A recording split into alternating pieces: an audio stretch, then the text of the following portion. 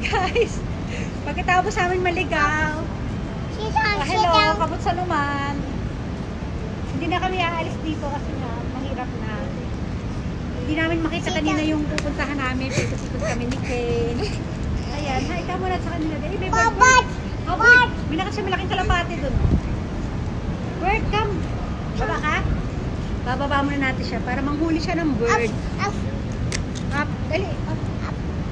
Uhulihin daw niya yung mga bird. May mga kalapati kasi. Oh, sige. Yeah, okay, go, go, go. bird! Dali, sundan natin si Kane. Okay. Bye-bye! Hello, bird. Ay, no, yung kalapati. Ay, may isa pa. Ang taba. Wow.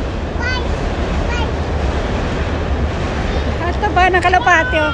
Kane, nasa ko, nasa ko. Big one. One! One! O, dali na. Bad!